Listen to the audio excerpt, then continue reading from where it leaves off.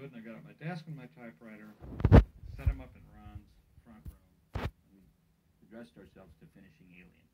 And uh, it took us, I'm not sure how long, but we worked from that first act he had. And we got the breakthrough was the chest burster. I said, "What do you think?" He said, "Well, you know, depends on what you do with the second half." I said, "Yeah, and I don't know where to go with it." A little while later, Ron comes back into the front room and he said, "Do you remember you told me about a script, an idea you had about um, monsters getting on a B-17 during World War II, Gremlins?" I said, "Oh yeah."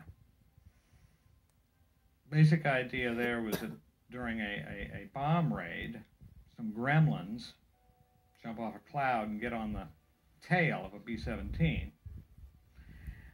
And as it's on its way back to base, these little monsters start working their way forward through the plane toward the front, killing men as they go. And the trick is to try to barricade them back there until they can get back to base and land. And I, he said, Yeah. And I said, I, well, his point was obvious. His point is, why don't you do that for the second half in the spaceship? I said, that is really a good idea. The rest of the structure wrote itself. It just, I remember it was three weeks, and we had the whole, just exactly as you see it, with one exception, the robot. We didn't have the robot idea.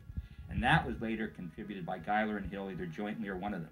But that's the only thing that was, other than that, the script you saw, which we later wrote, based on that three week outline, was almost exactly the movie you saw on the screen. Ronnie and I made the deal with production, an independent production company called Brandywine Productions.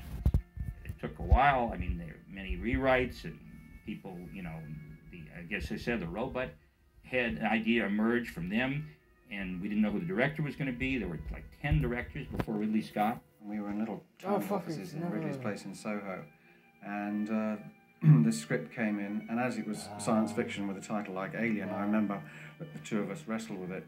said that No. me- you know it was a sort of me first, me first thing. But anyway, Ridley won, so I had to sit for an hour and a half while uh, Ridley sat in the next room reading it, screaming out, "Oh my God, oh my God!" as he came to certain bits in it.